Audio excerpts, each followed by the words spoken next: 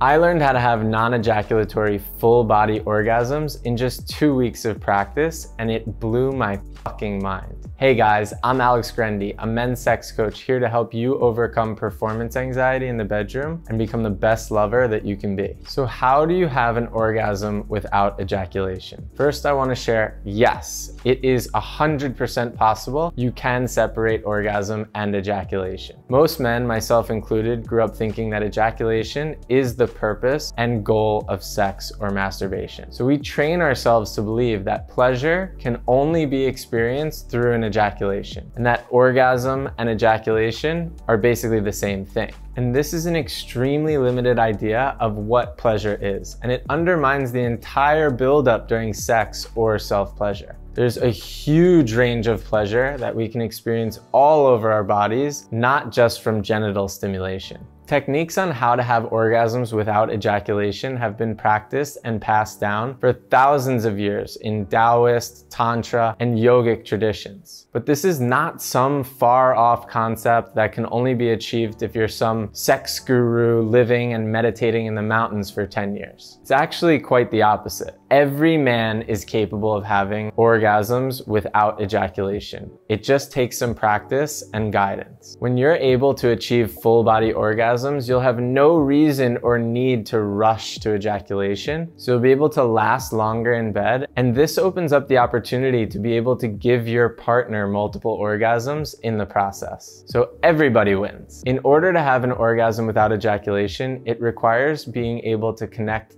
deeply to your breath and moving your sexual energy throughout your entire body before the point of no return or ejaculation over and over again. This will allow you to really ride the wave of arousal and experience intense pleasure multiple times throughout a lovemaking session. When you're taking it to the edge, you really have to toe that line and it's a really delicate dance that takes practice and there are a few more key elements to it. There are some great books like The Multi-Orgasmic Man by Mantak Chia that give a really good understanding of the practices with techniques, but in my experience, when you're just reading a book, you have no real guidance. You don't know if you're doing the practices correctly. And when I tried it this way, it didn't work out for me. I wasn't moving moving the energy at all and I ended up having blue balls every time I tried this with a partner. Yeah, that was not fun. But as soon as I started working with a coach and was taught directly, it was super simple and I was able to experience non-ejaculatory full body orgasms after practicing for just two weeks. I will repeat this again. All men can experience non-ejaculatory full body orgasms. And trust me guys, this is definitely worth exploring further. It is a total game changer and you'll experience pleasure way beyond anything you thought was possible.